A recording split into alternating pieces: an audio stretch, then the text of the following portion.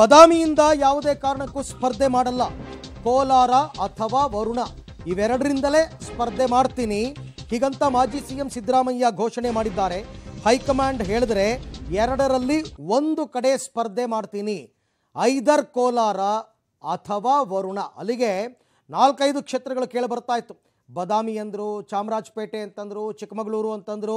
So ಈಗ ಕೊನೆಗೆ short list ಮಾಡ್ಕೊಂಡಿದ್ದಾರೆ ಎರಡು ಕ್ಷೇತ್ರಗಳನ್ನು, ಕೋಲಾರ ಅಥವಾ ವರುಣ.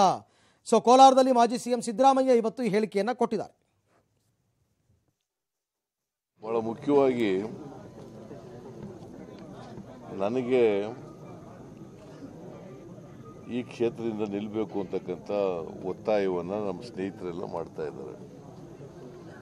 ನೀವು ಇಡೀ ರಾಜ್ಯದಲ್ಲೆಲ್ಲ ಓಡಾಡಬೇಕು. ಒಂದು ದಿನ ಅಥವಾ ಎರಡು ದಿನ ಈ ಕ್ಷೇತ್ರಕ್ಕೆ ಬಂದರೆ ಸಾಕು. ನೀವು ಬೇರೆ ಕಡೆ ಕೆ- ಪಕ್ಷದ ಪರವಾಗಿ, ಪಕ್ಷದ ಅಭ್ಯರ್ಥಿಗಳ ಪರವಾಗಿ ಪ್ರಚಾರ ಮಾಡ್ಬೋದು.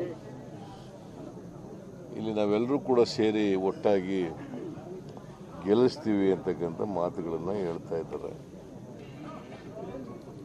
ನನಗೆ ಯಾವುದೇ ಕ್ಷೇತ್ರದಲ್ಲಿ ಚುನಾವಣೆ ನಿಂತುಕೊಳ್ಳಲಿಕ್ಕೆ ಅಂಜಿಕೆ ಇಲ್ಲ.